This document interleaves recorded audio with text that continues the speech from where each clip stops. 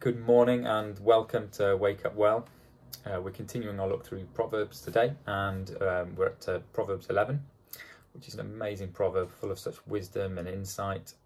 Um, and we're going to be looking at the theme of giving and generosity. So we're going to start at verse 24. Give freely and become more wealthy. Be stingy and lose everything. The generous will prosper.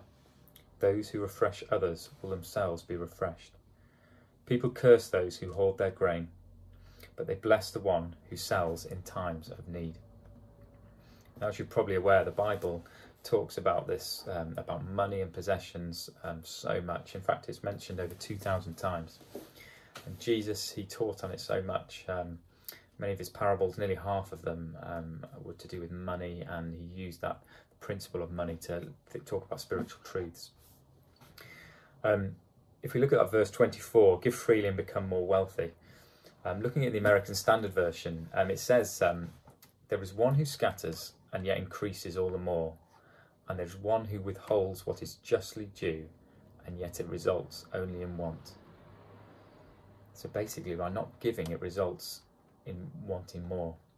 And our culture now is built on the premise about um, gaining money and more stuff and more possessions just to feel happy, to feel secure, and to, to give us comfort.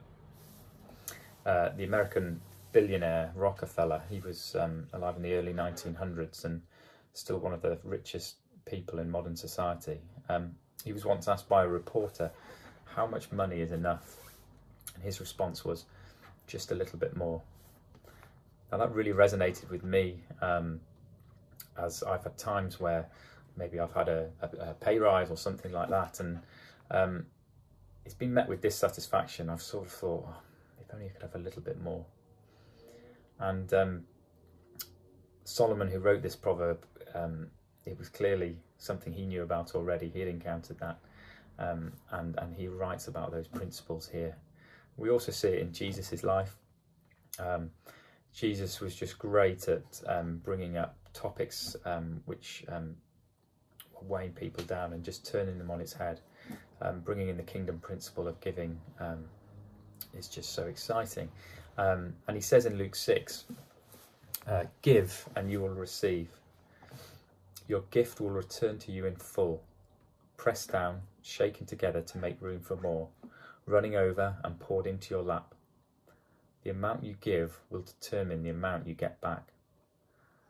I just love this. This is just such, um, this is kingdom of heaven. It's upside down, it's countercultural.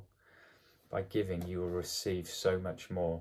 And that doesn't just mean um, you will receive that money back. It, it, it often does. It often means sometimes you receive back more, sometimes you don't. But the the heart, um, the change in your heart and um, that you receive, um, that's also what he's talking about the change in character, the the um, changing uh, the closeness you feel with the Father that you gain through through giving is, is also what he's talking about.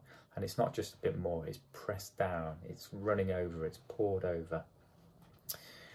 Um, actually, we went through a period as a family um, about a year ago where um, for for a few months I didn't have any regular income. Um, and so we were trying to budget, and I was looking at the budget, and and if I'm honest, the first thing I was looking at was, well, we could look at that tithe, the, the money we give uh, to others, to the church. If we just held that back for a few months, then actually we could maybe make things work and we could live as a family.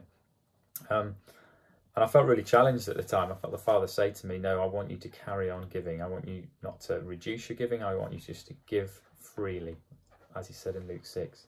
Continue to give freely.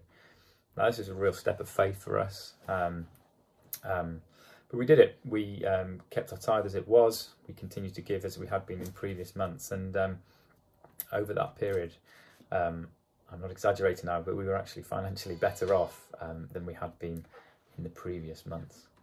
Um, just money from uh, different sources. Um, and it was incredible.